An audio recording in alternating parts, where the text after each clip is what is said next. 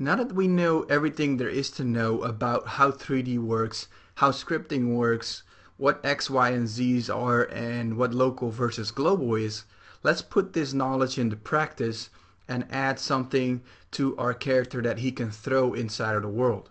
Now in the last couple parts we've been working on a crate prefab and it should be in your prefabs folder and this is the crate right here. Now make sure it's called crate with a small c in all small capital letters and we'll start using that in our script.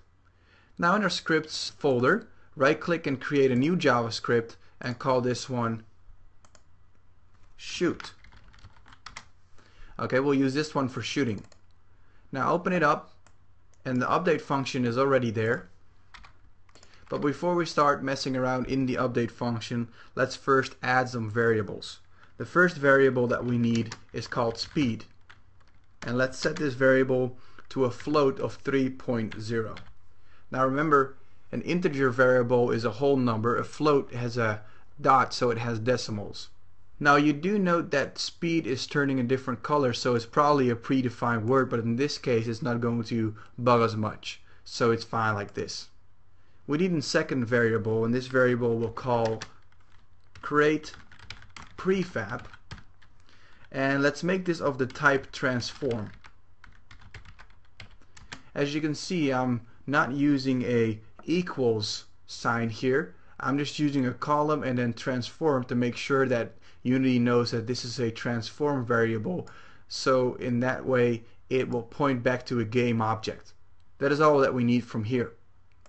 Now in the update function, we can start writing our code. Now first, of course, what we need to do is find out if a fire button is pressed. Of course you don't want the script to start throwing crates around at will. You only want the crate to be thrown when there's actually a button pressed. So in this case we'll type if input dot get button down and then this will be a string fire1 and everything inside this code is true. Now make sure you copy everything exactly. Input with a capital I, transform with a capital T, get button down with capitals, and then fire 1. Okay, now it's time for us to create the prefab in 3D. And we do this using script. And after that, we need to add force to the prefab. And this way, the crate will move around in 3D space.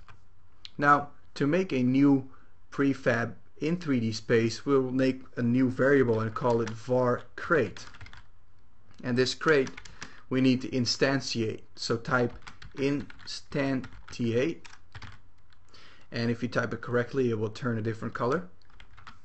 And the instantiate function, which is predefined by Unity, takes three variables, 1, 2, and 3. You have to divide these by commas so that the script knows that you're sending three variables to this function. Okay, the first is what prefab are we going to make? So that is our create prefab as we have defined this variable here. And we simply send that function in here. Next, the variable that the instantiate function needs is the position of where in the world we will create it. Now we are going to attach this one to the main camera so we just need to type transform dot position and this will send the position of our main camera. And then last but not least the third variable is the rotation so and this is done in Unity using quaternions. Now I'll explain this later so for now just type quaternion dot identity which is basically the rotation of our current camera so that it shoots in 3D space. Okay, so this will create our crate. Now we need to add some force to our crate. So our crate has a rigid body attached to it in our prefab, so we can use the rigid body functions. Type crate dot rigid body dot add force, and then the force will come from a transform dot forward, which is basically shorthand of where the camera is looking towards. So basically, it's a local z, its depth multiplied by a speed of 2000. Alright, let's save this. Let's close our script and then attach our script to our main camera. Now in our main camera you can see that speed is defined as a variable and our create prefab is defined as a variable but our create prefab right now is empty. It's an empty transform variable. Now simply to solve that we just go to prefab and then drag our crate right on top of this variable and now it's set.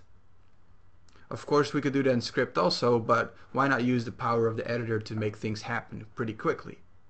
Now when I run our game and I use the left control, which is our fire button, you can see I'm actually shooting out crates into the world. That's pretty cool, huh? Now if you want, of course, you can add some more floors or something to make sure that things bounce off of each other. But that's pretty cool so far.